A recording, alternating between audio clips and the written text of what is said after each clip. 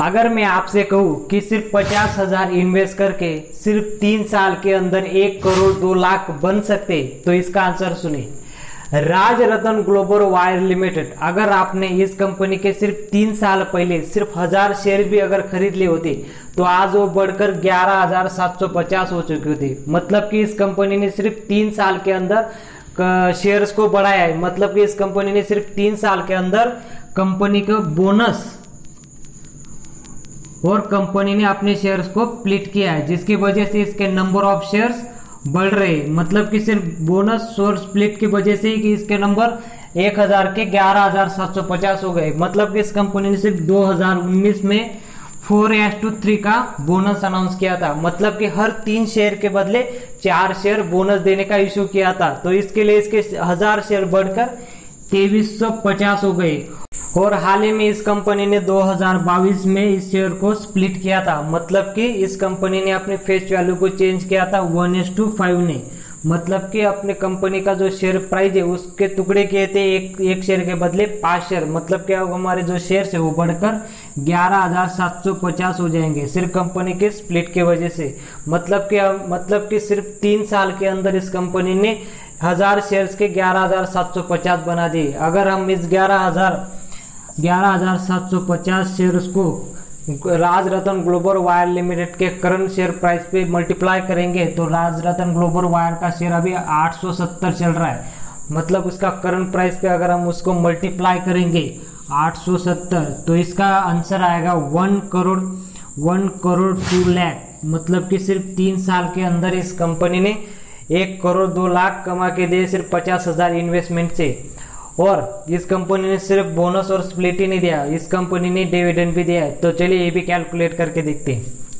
इस कंपनी ने cash dividend के फॉर्म में दिया है। मतलब 2019 में इस कंपनी ने हर शेयर के बदले दो, हर शेयर में दो रुपए का डिविडेंड देने का अनाउंस किया था। मतलब कि हमारे पास 2019 में 2350 शेयर थे। अगर 2350 को दो से मल्टीप्लाई करेंगे तो ये चार हज़ार सात सौ रुपए सिर्फ़ डिविडेंड से एक साल में डिविडेंड से मिल गए। और इस कंपनी ने फिर 2000 2020 में फिर दो रुपए का डिविडेंड देने का अनाउंस किया। तो अब 2020 में हमारे पास शेयर से तेईस सौ पचास। अगर हम तेईस सौ पचास को दो से मल्टीप्लाई करेंगे, इसका आंसर भी चार हज़ार सात सौ। मतलब कि दो दो साल के अंदर इस कंपनी चार हज़ार सात सौ, चार हज़ार सात सौ ऐसा डिविडेंड दिया। और इस कंपनी ने 2021 में डिविडेंड अनाउंस किया, आठ रुपए का। मतलब कि हर शेयर पे वो आठ रुपए का डिविडेंड देगी।